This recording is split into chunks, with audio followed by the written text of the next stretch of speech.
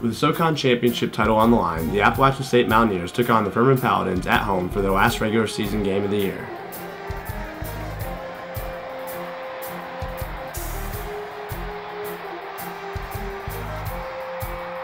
The Mountaineers put the first points on the board with this 27 yard field goal by Sam Martin, putting the Apps up 3 0. A few drives later, Patrick Blaylock forces Reese Hannon to fumble the ball at the Furman 25. The Apps then capitalize on the turnover with this 8 yard touchdown run by Stephen Miller. Appalachian now up 10 0. The Paladins score their first points of the game on special teams as Jerodis Williams takes this kickoff back 100 yards for a touchdown. The Mountaineers score their second touchdown of the game as Andrew Peacock completes his 7-yard pass to Drew Bailey, putting the score 17-7 Appalachian.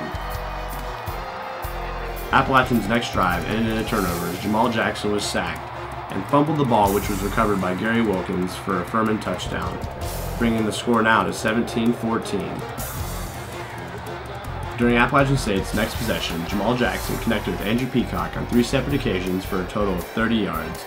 The drive ended in a 47-yard field goal from Sam Martin, putting Appalachian State up 20 to 14.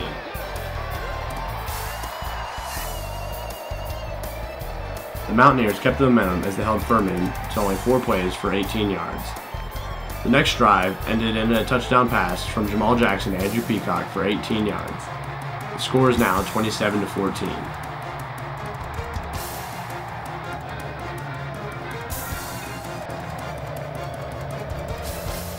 In their first possession in the second half, Furman began to cut into the lead with the 75-yard drive ending in a 10-yard touchdown pass from Reese Hannon to Jordan Snellings.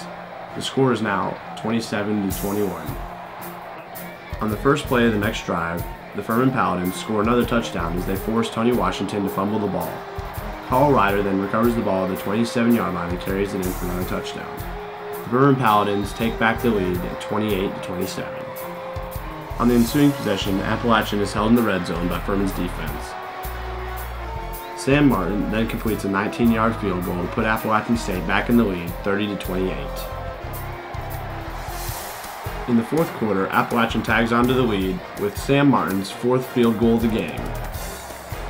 Appalachian holds onto the lead, winning the game 33 to 28, securing the title of SoCon champions. Students rushed the field to help celebrate Appalachian's eighth SoCon championship in the past nine years.